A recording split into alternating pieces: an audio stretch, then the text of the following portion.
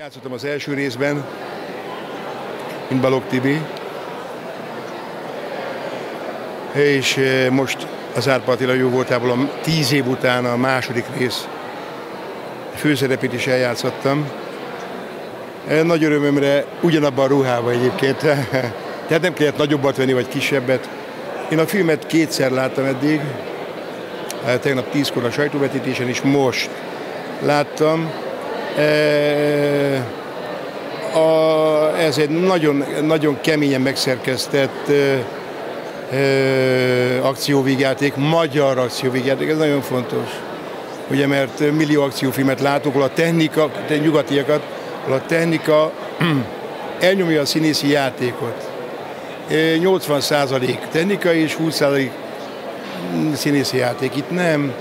Itt, itt, itt a színészi játékon volt a hangsúly, és a, a technikai, tehát a robbanások, meg a, meg a VFX munkák, azok, azok úgy me, mellékesnek tűntek, de fontosak voltak, hiszen akciókról van szó.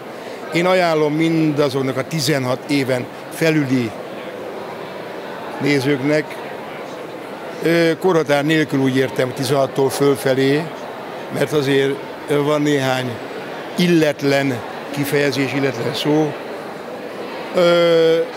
hogy, hogy legyen egy önfelett, figyelős, figyelni való film a szemük előtt.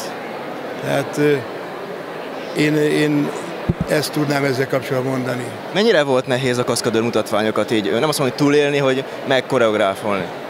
Nem, a koreográfiát megcsinálták, pontosabban nem. Ö, meg kell csinálni egy feladatot. Például, és én csináltam. A kötélzuhanást, a kötél visszakapást, a háztetőről ugrást, ezt mind én csináltam. Mennyire volt megterhelő? Ö, egyáltalán nem, mert én sportolok ö, gyermekkorom óta, tehát nekem tíz próbáztam, nekem nem, nem, nem okozott gondot, még 72 évesen sem. Még az azért kell energia. Nagyon komoly energia kell.